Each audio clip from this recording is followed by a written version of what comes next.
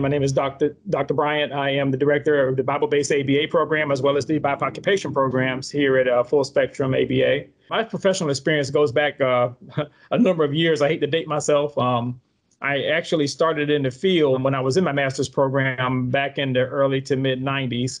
And I started out uh, with the Autism Society of North Carolina as a job coach, um, doing uh, uh, vocational training with autistic adults um, who were in the workforce. Um, we worked at a, on a contract with Craven County Regional Hospital in North Carolina. You know, just that was sort of my initial early experiences in programming and and developing services or assisting with services um, for vocation for um, adults with autism.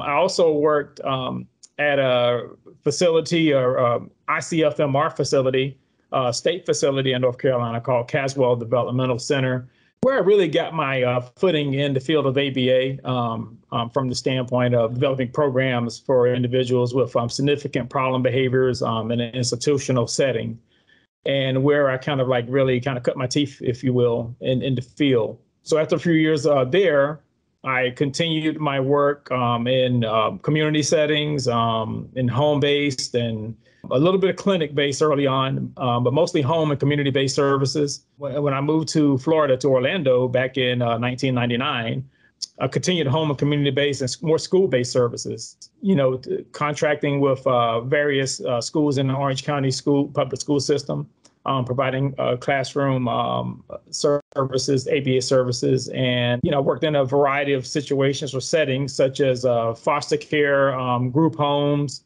alternative school settings uh, for those individuals who were not able to be maintained in the mainstream school setting, and just a variety of uh, ages, populations, uh, settings, uh, pretty much the whole gamut just a little bit about me in terms of my my research interests, some of the things that I've uh, kind of uh, pursued uh, and and continue to look at, and and, and I'm very interested in investigating um, are multicultural um, issues, and, and, you know uh, as it pertains to ABA, how we, how do we deliver effective services um, with uh, with culture in mind and in respect for culture